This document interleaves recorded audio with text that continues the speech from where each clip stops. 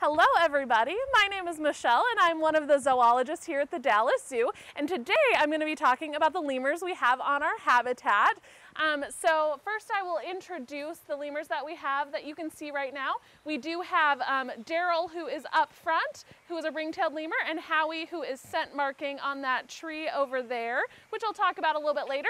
And then we also have Iggy and Alina, who are our black and white ruffed lemurs. Um, so these guys love to eat, since they hang out in the trees a lot, they do love to eat fruit, flowers, and leaves in the wild, depending on what kind of lemur they are. That will change um, depending on their habitat and um, some of their adaptations. Something that is really cool about our black and white ruffed lemurs is actually they have um, something called suspension feeding where they hang from their feet to try to get at branches that they wouldn't be able to get at. So they hang from the branches and then they can get fruit or flowers off of trees.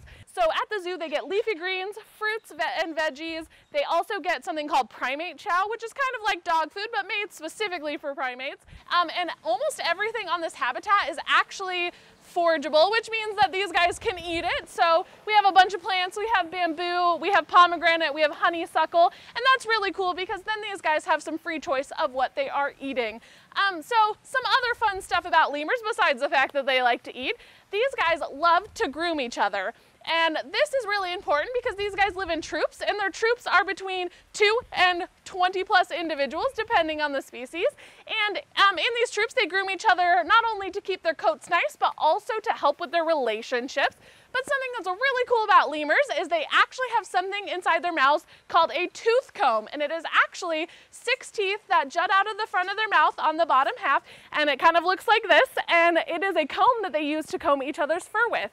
And so that's weird, but something that's even more cool and weird that goes along with that is that these guys actually have two tongues. They have a normal tongue and a sublingual tongue. Sublingual means an under tongue, so it's under their normal tongue. And what this tongue does is it separates from their normal, normal tongue when they need to clean out their tooth comb. And it is pointed so it can go in between each one of the teeth and clean it out so they don't swallow all of the fur um, that other animals, maybe like cats, you know, cats have fur balls, they swallow their fur, um, but these guys get it all out so they don't have to worry about that while they're grooming their um, relatives and the other members of their troop, which is really cool.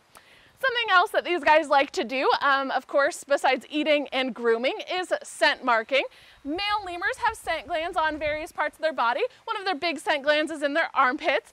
And so these guys will walk up to a tree and they will rub against it to put their scent in. And this helps them know, let other lemurs know that they're there and that's part of their territory.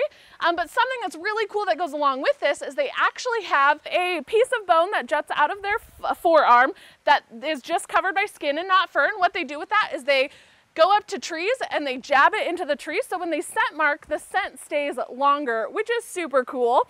Um, so these guys scent mark in a lot of places, but something that they also do with scent, which is one of my favorite lemur behaviors, is called stink fighting. And what stink fighting is, is when two male lemurs are trying to show dominance. Maybe they're seeing a very attractive female lemur, maybe they're fighting over some territory or food. What they will do is they will take their tail and it'll go through their legs up to their armpits. They'll rub it in their armpits and then they will flick it over their head and they will throw stink at each other. Um, so if they are fighting for dominance, the stinkiest lemur is the one who wins, um, which is, I'm glad that people don't do it this way, but it's really cool that lemurs do this and they do like their scent.